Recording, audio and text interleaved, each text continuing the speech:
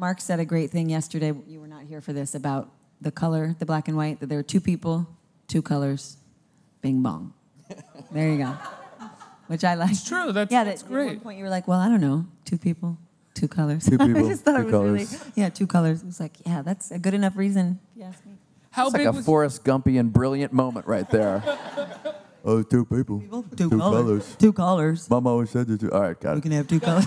no? Please keep going with your Forrest Gump impression. Let's do it, guys.